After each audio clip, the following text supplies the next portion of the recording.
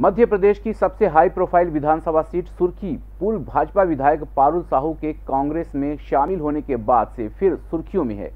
अब सिंधिया समर्थक मंत्री गोविंद सिंह ने इस सीट को जीतने के लिए राम नाम का सहारा लेना शुरू कर दिया है।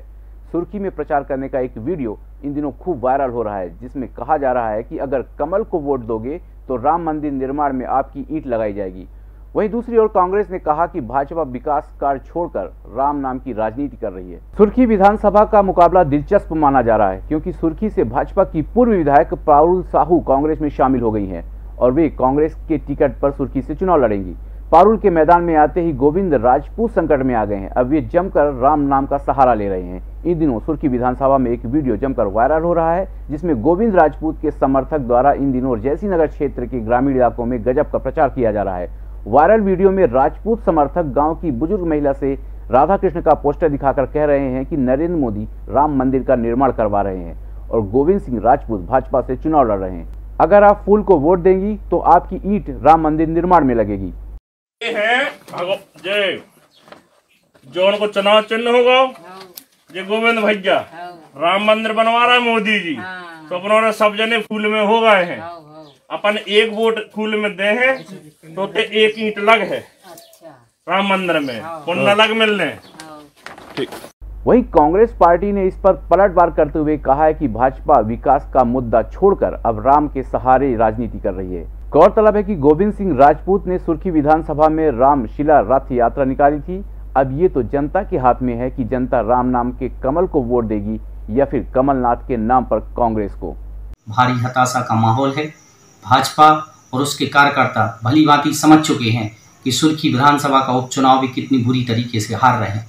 इसीलिए वो राम का नाम लेकर लोगों को बरगलाने का काम कर रहे हैं। जो कि पढ़े, पढ़ा लिखा हुआ वर्ग अच्छी, अच्छे से समझ रहा है। इन लोगों का मकसद राम के नाम पर राजनीति करना है और जहाँ तक मंदिर राम मंदिर का सवाल है, राम मंदिर सुप्रीम कोर्ट के निर्देश पर बनाया जा रहा है ना कि मोदी सरकार के इशारे पर Rabindranath Tagore University, formerly known as ISECT University, the pioneers in skill development with focus on creating industry-ready professionals.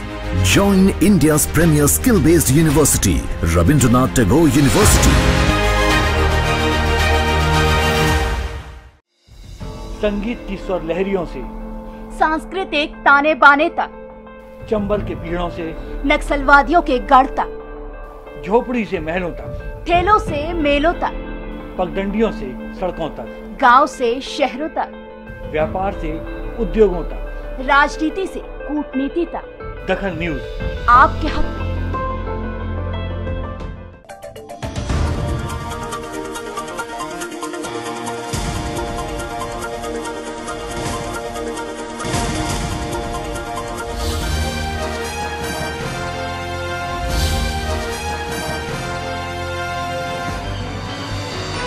आप देख रहे हैं दखल न्यूज़।